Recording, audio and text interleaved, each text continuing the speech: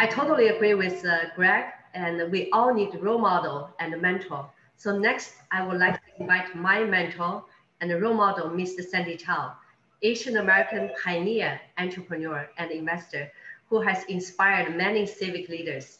He's also the founder uh, and president of Civic Leadership USA to give us a short speech before we come to the next panel.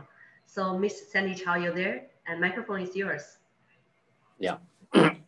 Yeah, I'm so uh, humbled by so many uh, good uh, ideas and then be communicated. Uh, and then I was uh, uh, so happy to see Fiona Ma and Mike Connors hi, and then the and so many friends among us. And then I would say you are truly inspiring me so much. I would say basically when we were talking about vote, I I would say the hardest thing uh, for us is this, uh, uh, every registered vote is so difficult and then the, uh, and then costs a lot of uh, effort whatsoever. So therefore, basically, I would say whenever we have uh, is get people to register. If you're not registered, I think the Asian Americans are very low in terms of registration rate. And then the continuous like today, and then we're talking about voter registration, then what next is voter education. I would say a lot of times, uh, I think this uh, is really a wonderful panel talk about uh, we need to be educated, why we vote, uh, what is the inf uh, uh, what we have to know, and then what kind of stand, what kind of need that, that we have, and what kind of issue that we're facing. And then, and then we need that kind of conviction. And that's what Mike mentioned about is us when, when people don't care and then they, they have empathy, that is really the killer of us not able to make any stand and any voice uh, among us. So therefore what next is actually you you have to register, you have to be educated, and then you have to participate.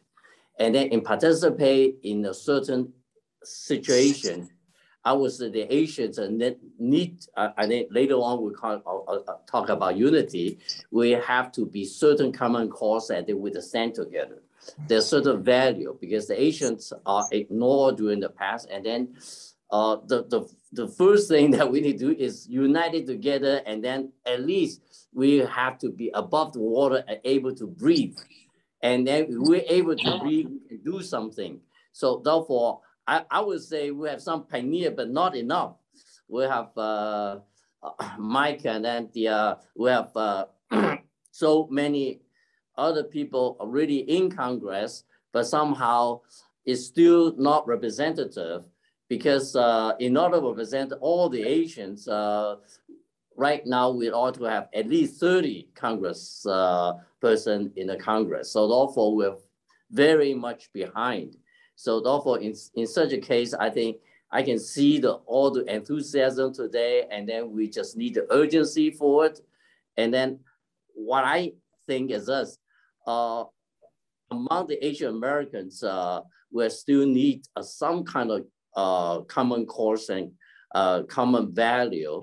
And as Grace said, it's the Asian Americans uh, are really qualified, sometimes they even overqualified us because we are the most educated group, we're the most concerned group, we are the most uh, informed group.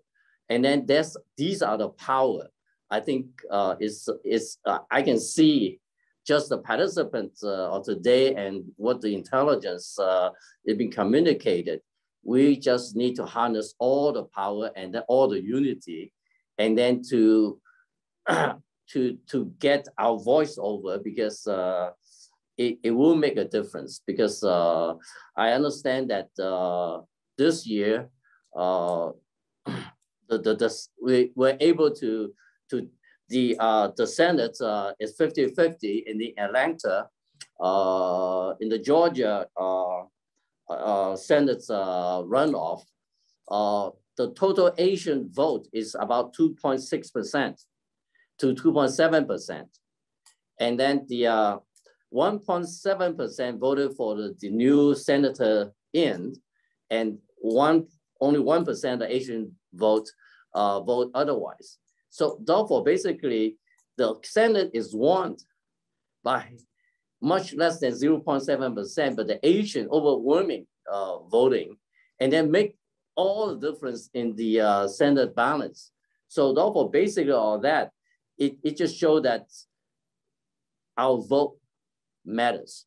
So therefore, basically, I, I would say it takes many, many little steps to move forward.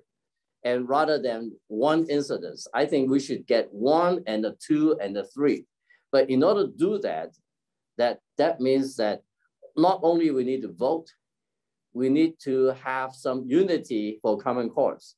And another thing is this, I, think what our council, congressman and then the uh, city council and then uh, uh, supervisor for uh, for county and then and then and then assembly and the center for the state, I think is us. Uh, our voice should count, but somehow in order to make the total influence, I would say the Asian Americans uh, in certain groups were too much isolated. So therefore, basically, we, we need to reach out. We need to reach out all the other ethnic group, the mainstream, the Latino, the uh, uh, the blacks, and then we should have in such way, unless we have a lot of in, positive impact of them, and then they feel we're so important that really support us, that Asian really can suffice. So therefore, basically, uh, listening to today, I just feel so much encouraged. And I really felt that the energy that I really feel energized. And then I can see because all this gathering just give me hope. And, and I really thank you uh, for, for, for leading this charge. And then uh, just seeing the charge give me a lot of goosebumps. And then I just feel energized. I'm so happy to be with this group. Thank you very much.